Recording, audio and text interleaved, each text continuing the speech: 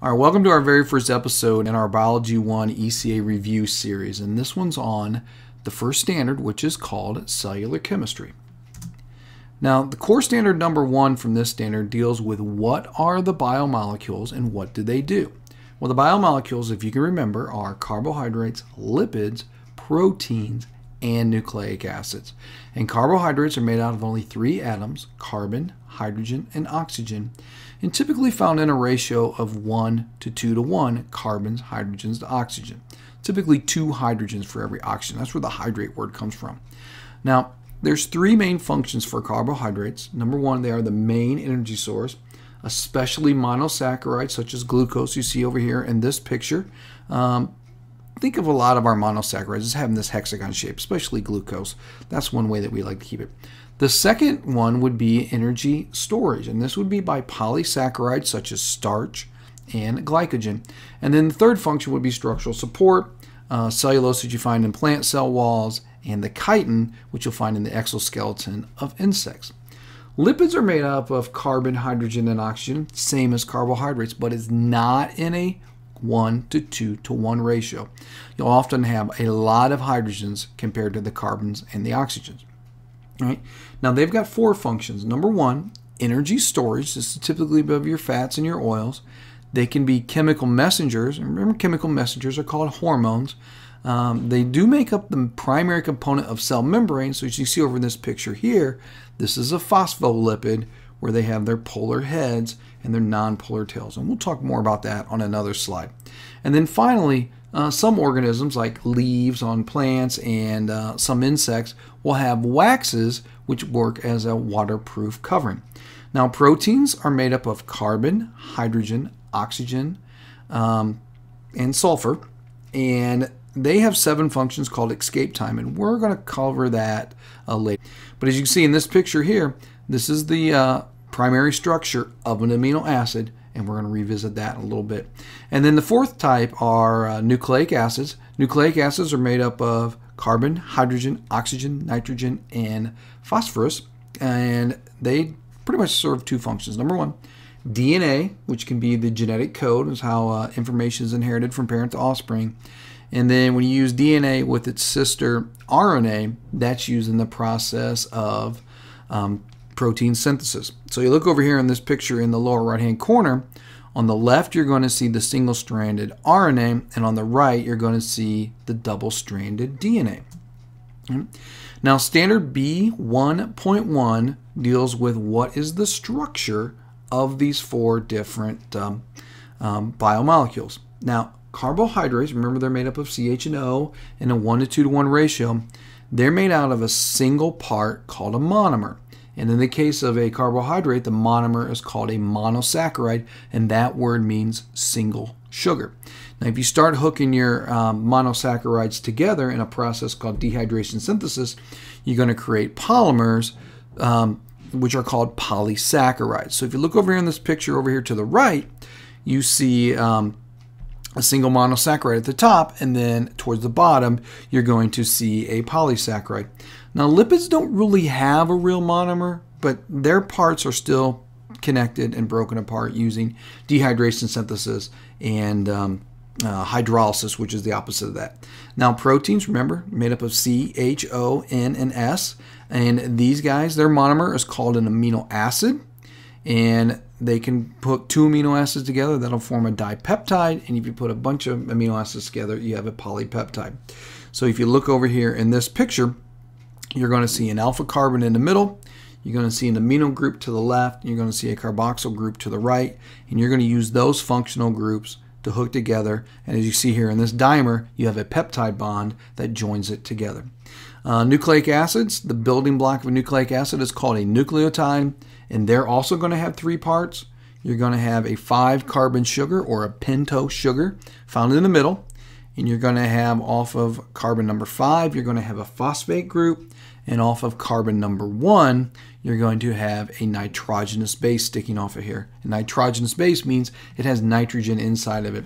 And remember, depending on what kind of amino or nucleotide that you have, the base is either going to be adenine, cytosine, thymine, and guanine in um, DNA, and take away the T and then replace it with uracil if you're going to have RNA. All right? Core standard number two looks at how the shape of a biomolecule determines its function. And there's nothing more important than when it comes to proteins because their shape follows their function. Right? Now, protein structure has four levels. You have a primary, secondary, tertiary, and quaternary. Primary is the most important because it's going to be the amino acid sequence. And the sequence of amino acids is going to determine what happens in the secondary, tertiary, and quaternary level.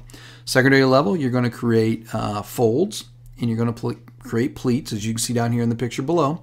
And then tertiary, you're going to take your secondary structure and you're going to wad it up together. And then finally, when it comes to quaternary, you're going to add another polypeptide and you're going to have what's called a globular protein. You can see all that here in this picture down below.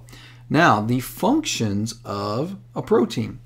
And we use this uh, mnemonic device called escape time, where E stands for energy source, only if carbohydrates and lipids have been used up. Two, or make a number, uh, the S would be the structural component, which would be like your cytoskeleton, microfilaments, microtubules. The C stands for communication. These would be your chemical messengers, which would be your hormones. T for transport.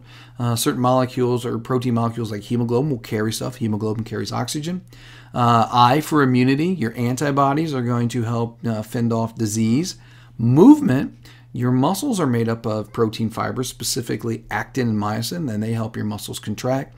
And then finally, the most important function of any biomolecule, and especially a protein, is an enzyme because enzymes control the rate of chemical reactions. And everything occurs in your body through uh, chemistry. All right, now standard B1.2 deals with how different cellular processes can be controlled by enzymes. Now, when it comes to enzymes, we got to think of the lock and key model.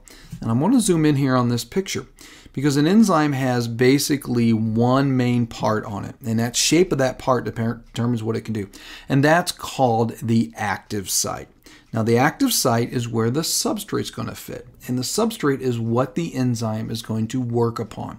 So think of the active site as where the work's going to happen on the enzyme, and the substrate is the molecule which is going to be worked upon. So in this picture here, you see a hydraulic reaction where, or hydrolytic reaction, where a dimer, a two-part molecule, is broken into the one part. Okay. Phospholipids are a type of lipid that is the primary component of a cell membrane. And as you see in this picture here, they have a hydrophilic head and a hydrophobic tails. And what this will do is it'll make sure that the heads are to the outside of the membrane and the tails stay to the inside, and that creates that phospholipid bilayer of which all cell membranes are made out of. And then in nucleic acids, they have a certain structure. For example, RNA is single stranded, DNA is double stranded. So over here on this double stranded DNA, as you can see, it has a sugar phosphate backbone with the uh, bases to the inside that are held together by hydrogen bonds. Hydrogen bonds are strong enough to hold it together, but they're also easy to unzip so that you can do replication and transcription. All right, standard B 1.3 basically deals how the environment within and outside the cell can regulate how these molecules do their job. And for example, with proteins, their shape is really, really important. So things that can change their shape can make the protein work or not work. And the main things that can change a protein shape, and remember that change in shape is called denature. The number one things that can change the shape of a protein are an increase or decrease in temperature, specifically increasing the temperature, which will make the, the protein fall apart, or rapid changes in pH, either going up or going down, can also do the same thing. So, obviously, if you change the shape of the protein, you're going to alter its function. Now, when it comes to controlling enzymes, there's some different ways that you can turn them on, you can turn them off a change in pH, which would cause it to denature, well, maybe that change in shape actually turns it on, or it also could be a way that you could turn it off. So enzymes that work in your stomach, which has a very low pH, will not work in the uh, small intestine, which has a higher pH.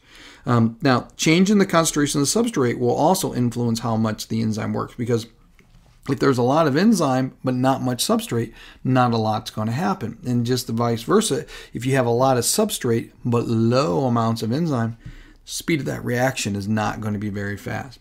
Okay, now also a great way to control enzyme is through by using inhibitors.